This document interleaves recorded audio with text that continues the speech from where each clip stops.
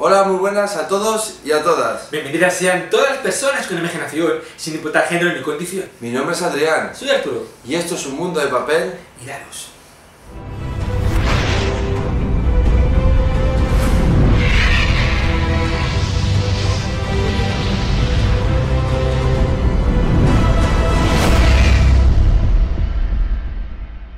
Hola de nuevo a todos, ¿qué Bueno, tal? ¿qué tal? ¿Todo bien? Todo muy bien, aquí andamos. ¿Vosotros bien? Sí, pues ya está. Perfecto.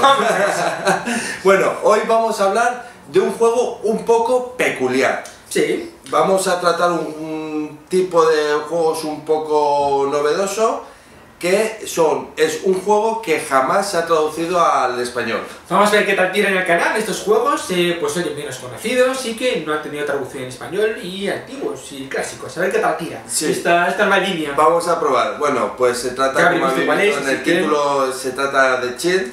Cheer. Es un juego editado en Estados Unidos en 1990 de la mano de Mindfire Games. Que fue los mismos que también hicieron la segunda edición del juego de de superhéroes de DC Comics. Ajá.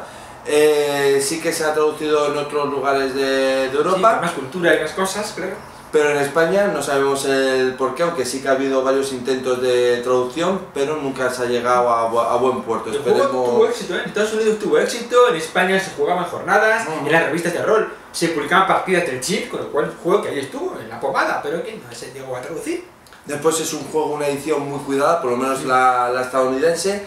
Ya Eh, visto la portada, el diseño de la portada me, me parece fantástico, en- mm, sencillo, minimalista, pero potentísimo, y por dentro igual tiene una coherencia interna en cuanto a ilustraciones, eh, en Ujú. cuanto a dibujo, a, a diseño del juego, Sí. montón. Está siempre muy limpio, pero utilizando solamente dos, dos tintas, ¿no? El dorado y el... Hay páginas con manchas de tinta así. Sí, no, está, está, está bien, es así un rollo muy mí me pop. gusta mucho. Sí, a ver, est- está bien. Y nada, este juego como vea- vamos a comentar un poquito por encima y después ya analizamos todo más Eso es. tranquilamente.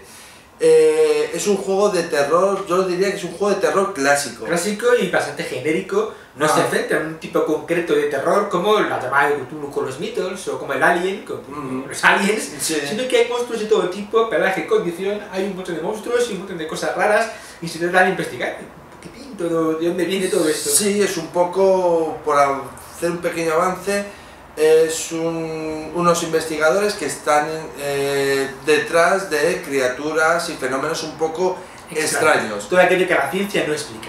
Luego Ah. lo comentamos mejor. Sí, bueno, vamos a analizar un poquito eh, cómo funciona el juego como tal, ¿no? El sistema, el motor de, del juego, el sistema y demás. Eh, como buen juego de los años 90, se popularizó mucho el sistema porcentual. Entonces, pero bueno, No es exactamente el BRP, el sistema de Chaosium, es otro sistema, pero bueno, que emplea para medir el éxito o el fracaso los porcentajes en pero una esto es tirada un poco porcentual. peculiar, ¿no? Peculiar porque importa, puedes tener más de 100 en una habilidad y no pasa nada porque importa más el grado de éxito. Ajá. Eh, ¿Esto qué quiere decir? Tú puedes tener 160 en tu habilidad de lo que sea, pero dependiendo del resultado que hayan sacado los dados, eh, se miran unas tablas y, y depende de esas tablas eh, el resultado eh, va a ser óptimo, muy óptimo Exacto, o, o pésimo Digamos, o muy malo. Un 100 dependiendo. siempre fallo, eso sí, mala suerte, para soltar las pifias, un 100 siempre fallo, pero que el grado de éxito va a importar y Sí, puedes sí, tener sí, más de 100 en una, en una habilidad. Detrás, de- detrás del juego, en las últimas páginas, te vienen las tablas, eh, no son las tablas pesadas del Señor de los Anillos, Además sí se puede calcular, una- se puede calcular, pero la tabla es mucho más sencillo. Ahí si coges el logaritmo neperiano en base Bueno, es sencillo, pero no que más. Bueno, eh, después también el sistema de... Vamos a hablar un poquito del sistema de personaje. El sistema de personaje se realiza por puntos. Eso es, se llaman zips, que suena raro, pero son Charlatan Insight Points, que van repartiendo puntos en características, habilidades y méritos y defectos, porque este juego implementaba en un sistema percentual eh, méritos y defectos, que es algo, pues oye, que ya tenía juegos, sí, eh, luego vino un mundo de tinieblas y demás, pero que era relativamente novedoso en, en su momento. Sí, después también en, en el tema de personajes el juego incide mucho en las nacionalidades. No es que les dé un- no es que sea importante, pero sí que les da hay un cierto Hay un, un afán de que sea un juego Sí, sí, sí, sí. multicultural. De hecho, el protagonista, el personaje que se emplea de ejemplo para hacerte la ficha, es un pueblo mexicano que vive en Nueva York, pero es hispano. En los personajes pregenerados hay una futbolista rumana, una irlandesa, un africano, un chino, porque Estados Unidos, Nueva York es multicultural. Y oye, que esto se metido con todo el mundo y que hay gente de todo el mundo y está bastante bien llevado. Me molaba mucho en ese momento la multiculturalidad y que te igual donde seas en el mundo moderno. Efectivamente. Aquí con esto tampoco que el, el, autor nos resalta que por ser de una nacionalidad tienes unas características especiales que en otras no, no hay. Claro. Entonces todas eh, se interpreta que son iguales, pero si le da una cierta relevancia a la Estoy en Nueva York, soy profesor de folclore, pero yo he nacido en Italia, y está fenomenal. Y ya está. Y punto. Después también una cosa que llama mucho la atención de este juego son los combates, son muy radicales, Era- muy muy, bruto. muy brutos. Era muy heavy, así, los combates eran muy brutos, las armas hacían mucha pupa y uno se puede morir con bastante Muy- facilidad. esto a mí me recuerda mucho a las campañas de, de, de Cthulhu, Sí. ¿no? Que, que, que empiezas con un personaje y terminas Con la campaña con siete a- más. con siete, sí, sí. Es lo que tiene, un, un tiro de una escopeta pues te mata. Es, es Claro. lo que tiene. Sí, sí. Después hay cosas también eh, muy molonas, ¿no? Que son, por ejemplo, eh, las reglas... eh, son reglas para personajes no jugadores menores. Sí, para ver la reacción. En el sentido de ver qué día tiene. Ah, Por supuesto, para los penejotas importantes para la trama, pues No, tengo claro. Pero para chorraditas como, rápido, coge un taxi al aeropuerto. A ver qué día tiene el taxista. Claro, eh, va, le va a dar una vuelta por todo Manhattan. Va a estar en bosqueo, Va- por lo que sea, o va a ir buen rollo, o va a ser un pesado, depende. Que es una tontería pequeñita para, bueno, rolear un poquitín. Efectivamente, para darle ahí un que poquito tenga de... más colorcillo. Que dice taxista dice, pues la, que, la bibliotecaria que te va a prestar o no el grimorio, o el policía que pasa por ahí, a ver si te cree, si no te cree, a ver, qué día tiene, los penejotas. Y eso me, me hace gracia, es curioso. Sí, no, no, la verdad que tiene ahí su, su punch. Eh, después también hay una cosa que, mm, como en otros juegos de terror, Claro. pero de, en, su, en, su, en, su, en, su margen, ¿no? en su libro, que son eh, tiradas de miedo y de terror. Claro es. Y no solamente cuando ves un monstruo, sino también para situaciones que dan miedo. Estás investigando en un desguace de coche y se atacan cuatro perros salvajes, pues oye, eso da miedo. Claro. Aquí no hay vampiro, ni nada, ¿eh? No, no, pero, pero- Esto viene a ser un poco como la cordura, pero... no es tanto una, ca- una característica como cordura, Ajá. sino una tirada de miedo contra una... En, en situaciones determinadas, ¿verdad? Y que te da, lugar a que luego tengas una reacción de miedo, ¿no? Ajá. Bueno, como hemos Un comentado, juego de terror, pues hay miedo, sí. efectivamente, es, eh, estamos hablando de, juego- de juegos de terror, esto es un juego de terror en el que utiliza mucho terror clásico. Estamos hablando de a lo mejor nos podemos encontrar hombres lobo, ¿no? De varios tipos, que hay varios Sí. tipos de hombres lobos. Sí, sí. Vampiros de varios tipos, espectros, de infinidad de tipos de espectros, mitologías, está el Banshee, en mitología irlandesa, hay mitología sudamericana, hay hombres jaguar y demás. Y este pupurri uno dirá, pues tanta cosa junta, a ver cómo se maneja. Y bien, ya Pues llegamos sí. a la segunda parte. Vamos a hablar un poquito de la ambientación, ¿vale? La ambientación es un poco, eh, vamos, si te parece, vamos a ir un poco con los antecedentes, ¿no? Eso es.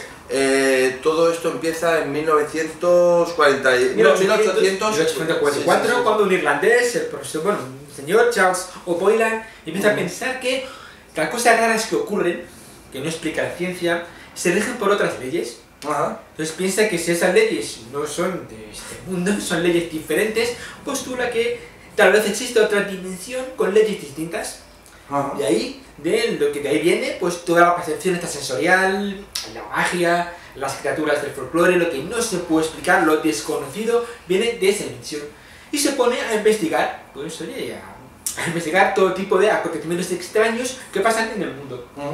Todo esto evoluciona, se crean comisiones, eh, Se crea una sociedad secreta sociedad. llamada SAFE, sabe, SAFE es salvar en inglés, que en Mm. latín significa Societas Argenti Via Eternitata, la sociedad eterna del camino de plata, Gracias por traducirnos.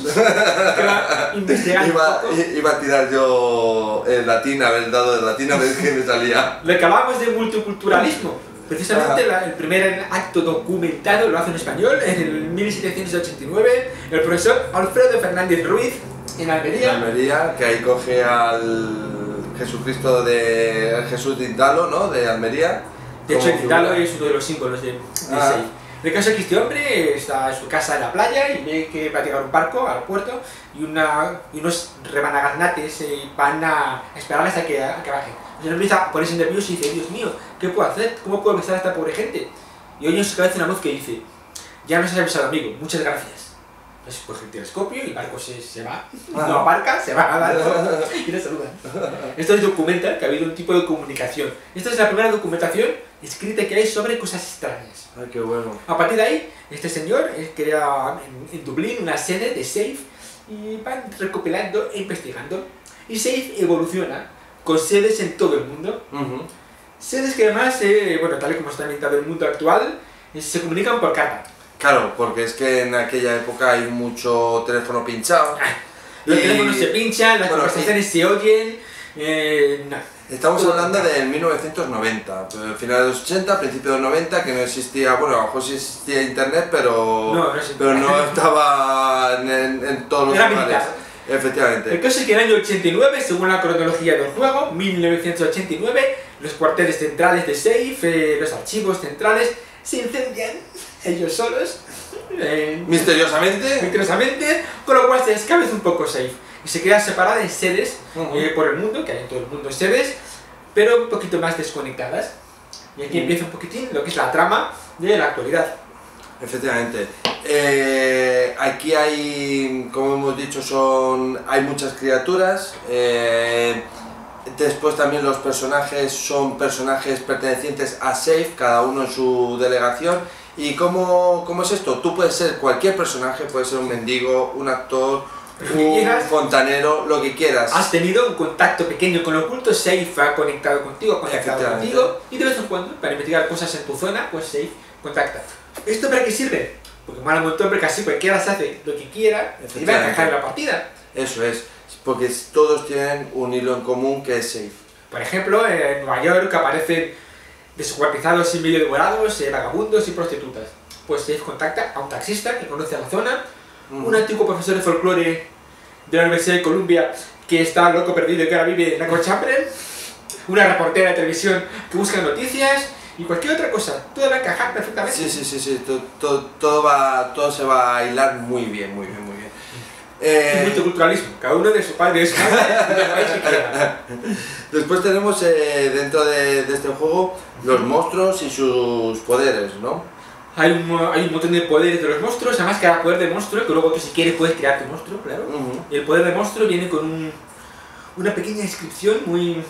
que alguien de Safe ha visto cómo actúa ese poder y lo ha, lo ha dejado documentado. Y es muy ambientado, muy evocativo. Ajá.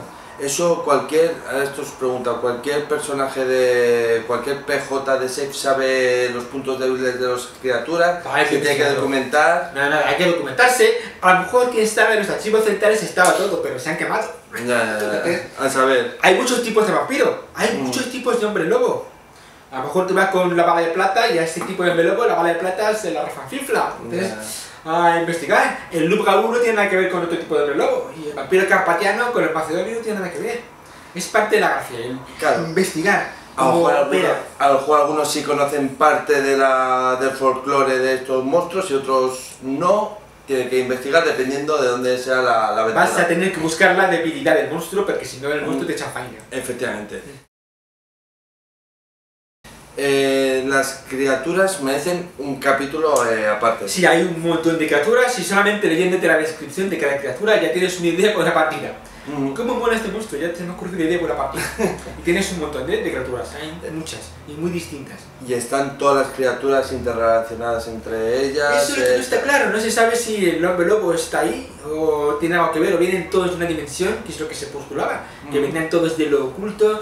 Y a lo mejor estas criaturas todas juntas eh, son las que tienen un plan y han quemado los archivos de Safe, no se sabe.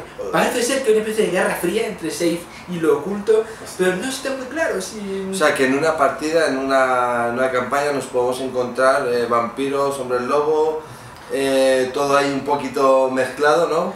Se puede jugar sin save, yo el par de partidas que dirigí lo hice sin meter todavía save, Ajá. así que puedes jugar una partida de terror con el monstruo, sus debilidades, gente de todo tipo que tiene que luchar contra el vampiro en el barrio de Brooklyn y ya está. Pero Steve le da gracia. Más que nada porque une a personajes, Sí, no. porque tienes un- una entidad común, y porque bueno, Le da un empaque ahí a la, ¿Empaque? a la historia, sí, sí, sí. sí. quién sabe si a lo mejor hoy en día, quién sabe. Igual Safe está dirigida por Drácula, Claro, por ejemplo, ¿eh? no se sabe, pero estoy que como es un poco abierto, precisamente para que luego Sí. tú utilices a los monstruos y a Safe. Esto nos, nos- nos recuerda un poquito a Agentes de la Noche, ¿verdad? El anterior, que hace poco hemos hablado de, de ellos. De hecho, esto de la agencia que investiga luego se ha usado en otros juegos. El Ragnarok español tenía Merrick House. El de terroristas también tiene otra organización que va investigando monstruos. Así que bueno, fue pie. Ha tenido a lo mejor más influencia de Chile de la que, de la que Sí, sí, pensaba. sí, sí, yo creo que sí. Pues yo creo que espero que os haya gustado este mm, esta mención a un primer libro no en español. A ver si tiene, si mola, si tiene vis- visiones y y demás. Dedicamos, tenemos muchos juegos raros, ¿eh? podemos sacar un Ay, ay, o ay, ay, tiramos más de novedades, o hacemos igual si queráis, y estamos para servir. Pues nada, amiguetes, eh, recordad que tenéis que tirar muchitos datos. Y soy buena gente. Adiós.